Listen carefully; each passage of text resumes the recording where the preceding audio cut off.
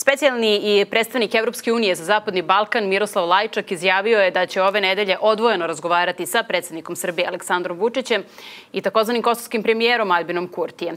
Sumirajući prethodnu sedmicu, Lajčak je naveo da izazovi na Zapadnom Balkanu nisu nestali i da je situacija na severu Kosova i Metohije i dalje u vrhu njegove agente.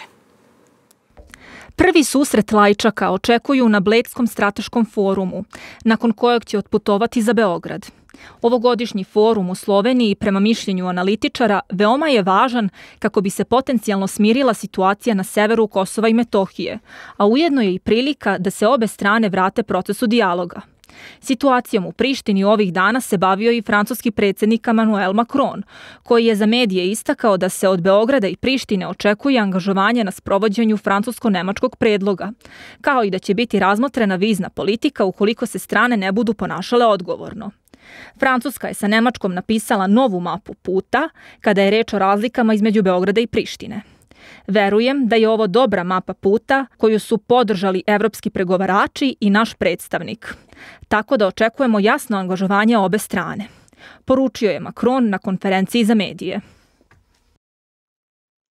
A da mi sada to probamo da rastumačimo. Moji gosti ovoga jutra su Demo Beriša, predsjednik Matice Albanaca Srbije. Dobro jutro, hvala vam što ste došli. Dobro jutro vama i gledalcima. I Vladimir Kokanović, predsjednik Saveza Srba Slovenije. Dobro jutro, hvala vam što ste gosti redakcije. Dobro jutro, hvala vam na pozivu.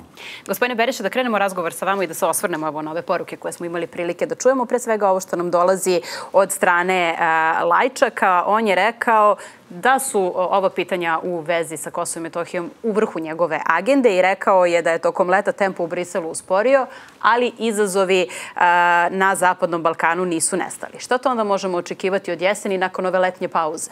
Od Lajčaka samo da produži sebi platni ovaj spisak, da će oni u buduće se baviti s tim pitanjem, jer ukoliko je e, njegova dobra volja i zadatak koje je dobio od Evropske unije, to bi davno moglo da se reši. Međutim, videli smo na sastanku koje je imao sa Kurtijem juče e, da su u potpunosti i dalje dva E, pravca rešavanja e, odnosa između Prištine i Beograd. Kurt je od Lajčaka juče tražio da se on očekuje da Srbija prizna de jure i de facto samostalnost Kosova, što je pitanje ključno i čini mi se da je on jasnu poruku poslao svima da od toga nema ništa. Jer e, s jedne strane govori da će sprovesti sporazum iz Bratislave, iz koga niko ne zna koliko je to zapravo neki x broj policajaca koji je smanjen za 50% izlaskom iz zgrada bivši ovaj, opština. I e, ideja da odugovlači sa e, raspisivanjem izbora na severu, koji e, taj predlog trebao bi da iziđe za dan, dva, koji glasi da tri osobe treba da daju inicijativu da se pokene inicijativa o smeni predsjednika opštine. Nakon toga 20% e, punoletni građana sa pravom glasa koji su uvedeni u biračke spiskove glasaju za taj predlog. Taj predlog ide u Centralnu izbornu komisiju. Centralna izborna komisija raspisuje izbore koji treba da imaju 50 plus 1 glasač e, od ti 11, konkretno ako uzmemo opštinu Leposavić koji ima oko 11.000 glasača, što je znači ponovo samo jedno guranje tog problema u Ćorsokak, jer na takav način se ne može raspraviti. Ima rešenje u e, Ustavu Kosova kako bi se ovo pitanje rešilo. U članu 72 izuzetno dobro je predviđena procedura jednostavna ili kraj krajeva e, oni koji su naterali te ljude da se kandiduju i budu izabrani na nelegalnim, jer je svega 3,47% birača ovaj, glasalo, znači da daju prosto ostavku. Mm. Što je u ovom trenutku najjednosede za stvore uslovi i da se prilazi onim tri tačka tri tačka koje je Evropska unija, Borelji, Lajčak i ekipa. Međutim, ovdje kada e, posmatra juče taj sastanak na Bledu je bio izuzetno zanimljiv iz prostog razloga što je Lajčak obavio taj razgovor što je najavio da će razgovarati sa predsjednikom Republike i sa Albinom Kurtijem.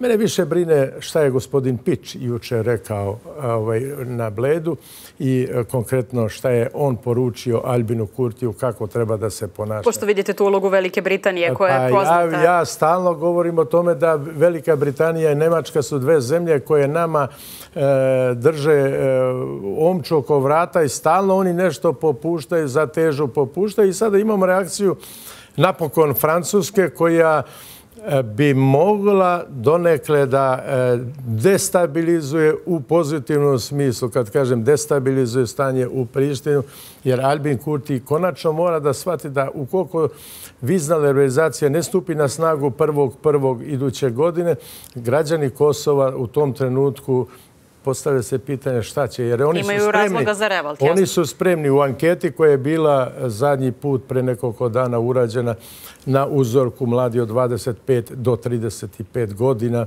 Znači 64% mladi se izjasilo da bi da čeka viznu liberalizaciju, jer je opšte poznato da samo Nemačka 70.000 viza daje godišnje. Sve u svemu Albin Kurti i e, Miroslav Lajčak i cijela ta ekipa, ja ne verujem da postoji dobra volja ili čak ne smeju, jer e, Lajčak je prvo imao pre nekoliko dana sastanak sa Escobarom. Pa došao je na Bled, pa će da dođe u Beograd i tako dalje. To je samo Jasna je putanja i jasno je je iz kog pravca mešetarenje to i dokaz da ne postoji jasna, precizna volja koja bi naterala stranu u ovom konkretnom slučaju, to jeste Albina Kurtija i Prištinsku vladu, da preduzme ono što je dogovoreno. E, upravo sam to i htela sada da, da spomenem. Zato što također smo uh, juče na Bledskom forumu imali priliku pa da čujemo zanimljivu razmenu mišljenja. Kurti je rekao da je Kosovo najuspešnija priča Zapadnog Balkana i kako on rekao centar razvoja demokratije i vladavine e, prava. Nakon toga je upitana premijerka Srbije Ana Brnabić da prokomentariše tu izjavu i da kaže šta ona misli o tome u vezi i sa normalizacijom odnosa sa Prištinom. I ona je rekla pre svega da su e, Srbije i Kosovo i Metohija jedna država, ali takođe da se normalizacija odnosa očekuje nakon što se ispoštuje briselski sporazum u svetlu svega toga što je rečeno u toku jučerašnjeg dana, u svetlu svih ovih sastanaka, kakav nastavak dijaloga uopšte možemo da Pa očekujemo? prvo bih teo da kažem da, dakle, vi ste pomenuli da je to Kurtijevo mišljenje. Ja ću reći da je to Kurtijeva glupost. I odgovor Ane Brnabić, premijerke Srbije, je bio vrlo dobar. Ona je zapravo ukazala na veoma malu i nisku stopu povratnika na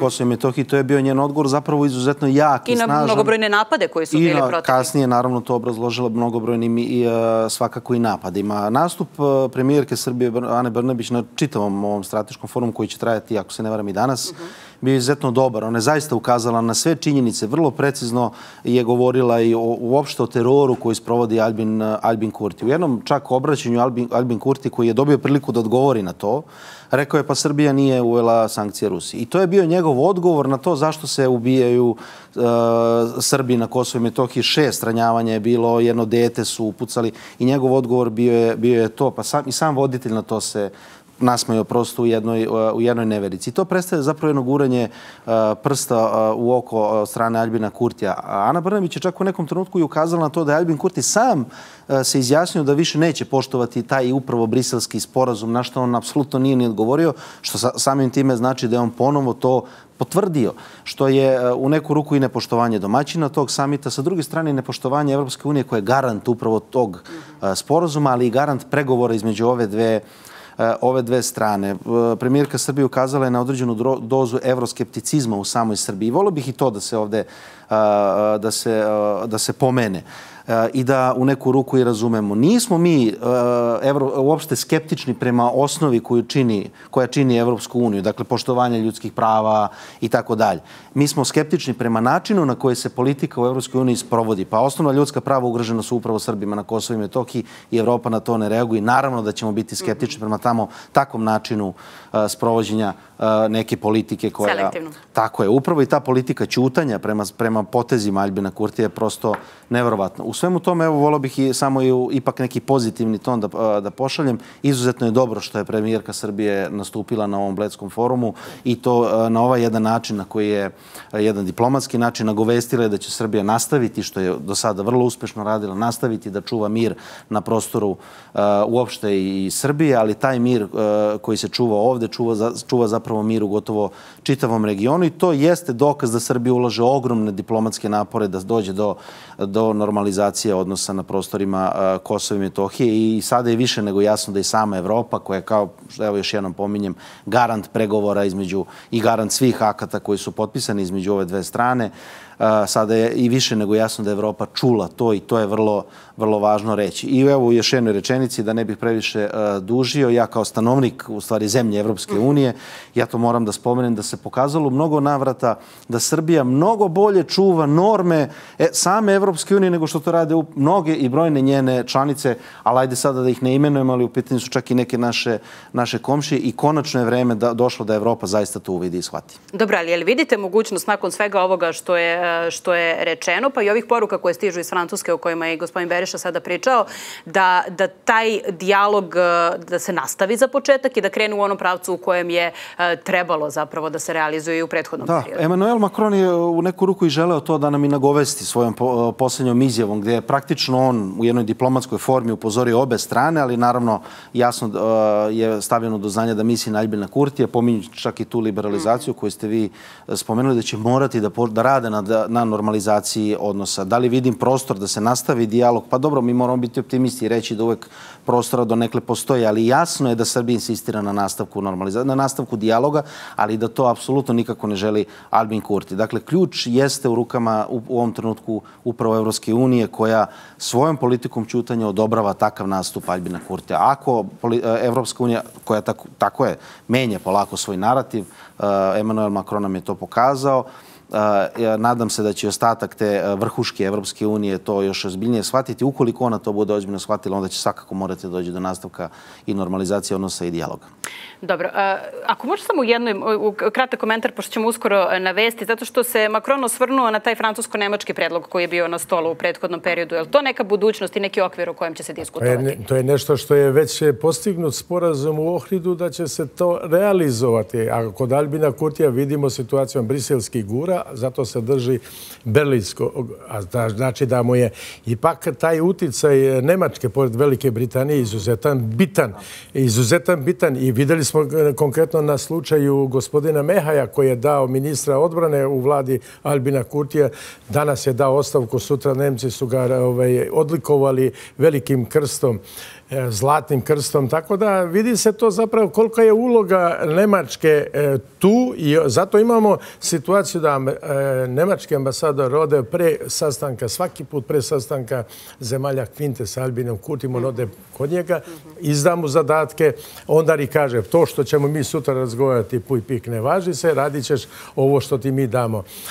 Sve u svemu mi vidimo da Evropa je gluva, čorava, nepokretna, neupotrebljiva, jer e, nekoliko sporazuma koji su izuzetno bitni bili postignuti, dogovoreni, potpisani. Znači, govorimo o energetici, govorim o nestalim licama. Ta dva sporazuma su sa obe strane se dogoje da se primenjuju. Znači, e, Srbija je primenila svoje sve i onda doživljamo nešto što je već postignuto, overeno i dodat e, ovaj, realizacija je bila u toku, govorim o MTS-u. Konkretno, MTS je e, po dogovoru o dobijanju prefiksa plus 383 za Kosovo. E, MTS je dobio pravo da e, posluje na prostoru Kosova. 80.000 korisnika, 269 zaposlenja. Onda imamo situaciju kada on pokušava sve ono kada pogledate da ima tačka RS, sve firme, poslove, sve što god je vezano za Republiku Srbiju, Albin Kurti lagano istiskuje iz upotrebe na Kosovo. Prvo su, tako se ponašaju prema Coca-Coli, ne znam, sve ono što se proizvodi u centralnoj Srbiji. Sada smo došli u situacije da PIO fond eh, koji je koristan za sve građane Kosova, mhm. gde se traži da od Srbije da Srbija ispunjava eh, svoje obaveze prema radnicima koji su nekada radili u zajedničkim firma i to on pokušava da izbaci. I to nam vrlo slikovito znači, objašnjava kakav je razvoj demokratije i vladavine prava. Ali nastavit ćemo. Ali oprostite, samo prije jedna rečenica. Koliko su vladavina prava, vidjet ćemo da li će Albin Kurti se pojaviti gospodinu Trajkoviću kao svedok na suđenju. Mm, upravo tako. Nastavit ćemo. I e, evo, gospodine Kokanović, osvrnulo bi se na još nešto e, što je e, Kurti rekao u intervju za radio televiziju u Slovenije na Bledu. Najavio je da će izbori na severu Kosova i Metohije biti održani na jesen. Kako to da tumačimo? Da li je sada to možda rešenje ove krize ili se ipak vraćamo na onu priču da izborima ipak treba da prethode svi oni koraci koji su traženi od strane Beograda prethodnih meseci? Pa, sasvim je jasno. Premijerka Srbije je na to i ukazala. A na kraju krajeva i sama Evropska unija i uopšte njeni pojedini bitni funkcioneri ukazali su da je neophodno da obe strane ispoštuju pre svega briselski sporozum, a kasnije sve druge akte koje su e, koje su potpisale ove dve strane, a, koje, a koje, čije u stvari sve norme ispoštovala upravo ta srpska strana, dok sa druge strane Albin Kurti nije ispoštovao skoro pa ništa. Dakle, formiranje zajednice srpskih opština, opština jeste nešto o čemu bi moralo da se pre svega toga razgovara, pre nego što uopšte uđemo strmoglavo u bilo kakve druge uh, E, procesi procese i postupke. Drugo, mi trebamo ipak razumeti da se da su izjave koje Albin Kurti davo davane ipak pred predstavnicima e, Evrope, Evropske unije, uopšte šireg evropskog i svetskog auditorijuma, a on se nije pokazao kao neko ko je ipak dosedan svojoj reči. Tako da ja ne bih previše nasedao, niti uzimao za najozbiljnije ono što što on uopšte izjavljuje. Ja bih uh, to takozvano svetlo ipak uh, usmerio ka Evropi i nastavio sa ovim jednom jako dobrim diplomatskim putem kojim je Srbija krenula, a to jeste uh, uopšte priča, govorenje istine, jeste poštovanje svih normi koje propisuje pa na kraju krajeva i sama Evropska, i Svetska, Evropska unija i Svetska uopšte šira pravna Ali također jeste kritikovao, evo rekli ste sada sve to govorio pred očima Evropske zajednice, ali je i kritikovao te kaznene mere koje Evropska unija uvela Prištini. A mi smo baš i u toko jučerašnje emisije pričali o tome koliko je efekta uopšte imala, koliko su imale efekta te sankcije koje su uvedene od strane pojedinih analitičara koji se sada oglašavaju iz Prištine. Kažu da ipak to jeste imalo uticaja na, na ekonomiju. Je li to dovoljan signal? Ne verujem da je dovoljan signal. To što je on po neku tako malo oštriju retoriku upotrebio, to je usmereno ka svojim biračima. Ja to moram tako da kažem. Sumnjam ja u njegovu bilo kakvu uopšte, uopšte iskrenost. Sa druge strane, očekujem ipak da će Evropska unija nešto konkretnije odreagovati nakon svega, nakon svega ovoga. Pa mi smo bili sankcionisani, na kraju bili smo bombardovani, evo kasnije se pokazalo potpuno neopravdano. Nikada niko to nije suštinski osudio izuzev srpske strane i srpskog predsjednika. Nikada niko. Za mnogo manji benignije stvari. Albin Kurti danas vrši najflagratniji oblik terora neviđen još uvek uopšte ni u jednoj eh, zemlji članice Evropske unije i niko to suštinski ne sankcioniše. Neophodno je da se to, eh, da se to eh, sankcioniše i zato ja još jednom apostrofiram onu moju tezu o takozvanom evroskepticizmu. Nismo mi skeptični prema Evropskoj uniji, njenim postulatima. Skeptični smo upravo prema takvim potezima i takvim, takvoj politici čutanja koje je sada na snazi. Dakle, očekujem da Evropska unija ipak mora nešto konkretnije da odreaguje. I dobro, evo gospodine Beriše, vi ste spomenuli taj taj absurd koji se tiče vladavine e, prava u, u Prištini i svega ovoga što se dešavalo prethodnih meseci i videli smo mnogobrojne slučajeve hapšenja Srba, ali ja bih evo spomenula e, još nešto što se dogodilo prethodnih dana. Srbinu Dušanu Obrenoviću, koji je uhapšen, evo da podsjetimo i naše gledalce, 29. maja ove godine, je tokom, e, je produžen pritvor na još dva meseca, ali po njegovom hapšenju, kako su preneli i, i mediji na Kosovo i Metohiji, pripadnici takozvane kosovske policije su krvnički tukli ovog mladića zbog toga što, kako su oni rekli, je promenio veru, prešao u pravoslavlje i sve vreme tokom tog batinanja su mu govorili da je to zbog toga što je želeo da postane Srbin. Sigurno da je to od svega najjači motiv zbog čega je taj mladi čovjek nastradao, jer nije on mogao da napravi takve napade, da povredi kvor, pripadnike kvora i kosovske policijske službe. Međutim, vratio bi se ja nešto, ovo što je rekao gospodin ovaj, Kokanović, zapravo e, Rašić, od kad je došao na mesto ministra za E, povratak na Kosovu, on je dobio 163 zahteva za povratak Srba. Svaki Srbin koji se pokušao vratiti, završio je u zatvoru. Ne da ide na svoje imanje, u svoju kuću, nego je dobio novu kuću u specijalnom zatvoru. Što ukazuje na činjenicu da ideja Albina Kurtija nije saradnja, suživot i ono što je namenjeno da ljudi na ovom Balkanu, ko što je jer on na bledu, kad bi čovjek slušao ono što je on govori na bledu, pa ja bi ga podržao. Međutim, činjenica je potpuno drugačije. On postupa čim napusti tu njegovu demokratiju i vraća se. Ja sam spomenuo e, zatvorskog čuvara u Prištinskom zatvoru, gospodina Trajkovića, koji je zbog terorizma ovog trenutka zatvoren. Stavljamo se na teret najgore delo terorizma. A terorizam je zato što je postupio na ljudski, profesionalni i na svakojaki drugi način prema istom tom Albinu Kurtiju, kada je taj isti Albin Kurtiju zbog njegovog delovanja iz kojeg nije nikada odustao šovinističkog ili već u kom radikalizmu krenuo i tada i zbog toga je on zapravo i bio u zatvoru. I jedini svedok u slučaju gospodina Trajkovića je Albin Kurti. Pa da vidimo da li je on taj demokrata pa da se pojavi, da kaže istinu. Da li je Trajković njega maltretirao ili mu dao knjige, donosio mu hranu, donosio mu poruku od e, porodice i ostalo. E, izuzetno je bitno naznačiti da Albin Kurti e, svaki dan ugrožava Srbe koji žive posebno ove na severu. Drugo, svaki dan ubada prst u oku istoj toj Evropskoj uniji i da ta Evropska unija nikakvo ne reaguje. Videli smo njegovu posetu koja je bila Makedonije. On je pozvao na Makedoniji. Kad je bio u posjeti Tetovo je pozvao zapravo, jer Tetovo je poznato da je odatle krenuo rat u Makedoniji između Albanaca i Makedonaca. E, njegova ideja o formiranju Velike Albanije prošla tako čutke, Evropska unija ne reaguje i puštaju ga dalje. Vidjet ćemo šta će biti njegov sljedeći zahtev. Albin Kurti nema ideju da održi izbore, nema ideju da oformi zajednicu srpskih opština. Ima samo ideju kako da svoj mandat dovede do karaja. E, pa čuli smo ja sam, evo i ovu ja ideju da će kosovske bezbednostne snage biti na severu pa, vidite, Kosova i Metohije, bez ozovkora. Sasvim je to ozbiljna izjava novog komandanta ovaj, Makedoncija e, E, u vezi toga, jer on je rekao da je on kao mlad čovjek sa 19 godina bio komandant jedne od Lapske brigade, znači u prostoru Podujeva da ljudi znaju o čemu govorimo.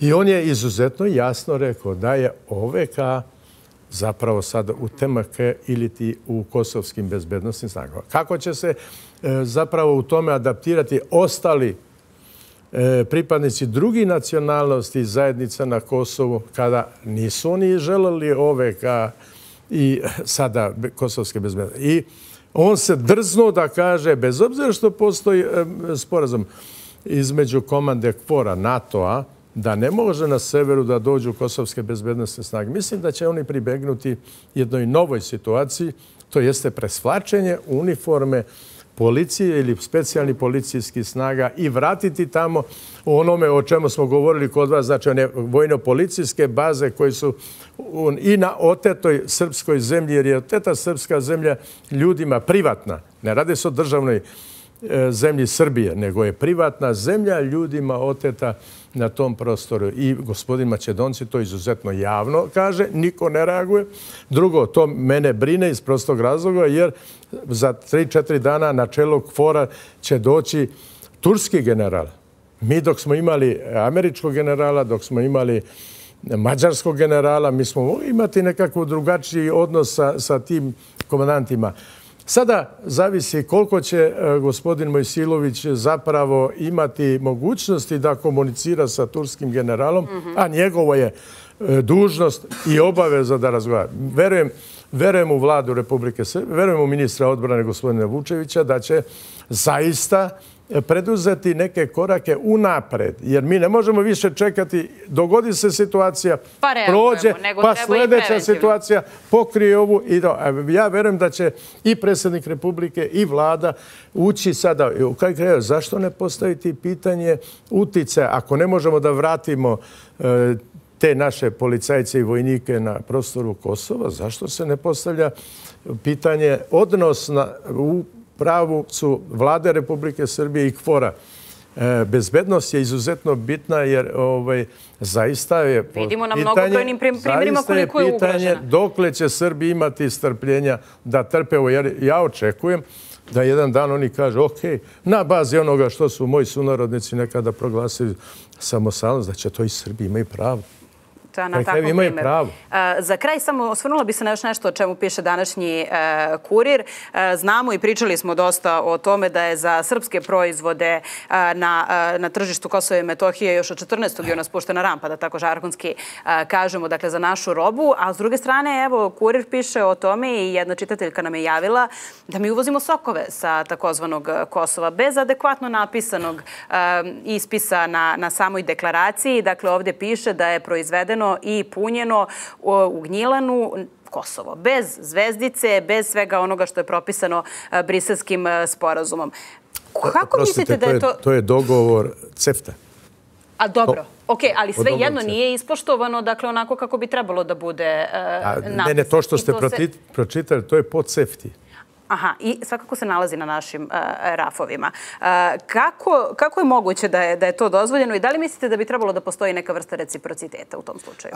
Pa o, mi ne možemo reći da je to reciprocitet budući da smo mi jedna država prema našim standardima. što je, tako da to ne može biti reciprocitet, ali to pitanje jeste zaista nešto uh, u što verujem da će nadleže državne institucije sada reagovati nešto zbini. Mm. Dobro je što je to uh, pomenuto budući da će se sada, nadam se, taj problem rešiti. Što se tiče naših proizvoda koji bi morali da se nađu na, na, na prostorima Kosova i Metohije, pa to je samo još, još jedan u nizu pritisaka koje Albin Kurti vrši. Zamislite vi da ne dozvolite danas u toj takozvanoj Evropskoj uniji koja je unija slobodnih e, bescarinske zone, slobodne trgovine, da vi ne dozvolite dolazak robe s jedne, s jedne a da kažemo iste države, ali od, iz bilo koje države, da vi to zabranite bez ikakvog valjanog, uh, valjanog razloga, a na, na kraju krajeva mi moramo da razumemo, tu, tu, tu postoji zaista i strateški interes, pa čak i sami stanovnika. Kosova da se odavde izvoze tamo uh, uh naši proizvodi koji su ovde proizvedeni.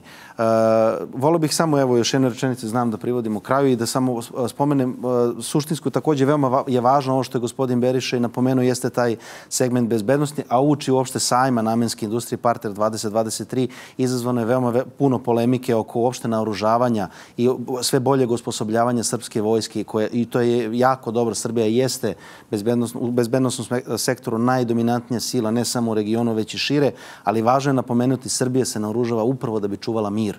I to je nešto što je vrlo važno reći i mora to Evropa da razume. Jasno. Hvala vam najlepše